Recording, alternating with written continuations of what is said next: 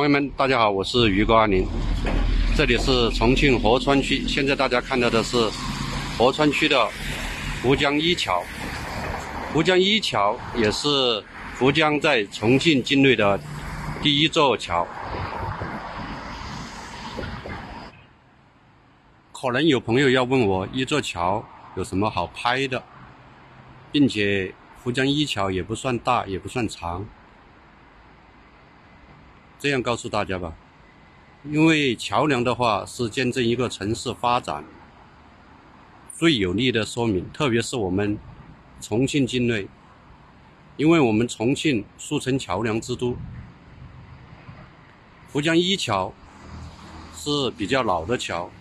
现在大家看到的是新桥，新桥是在老桥的原地址上重建的，是古典美学与现代技术的融合。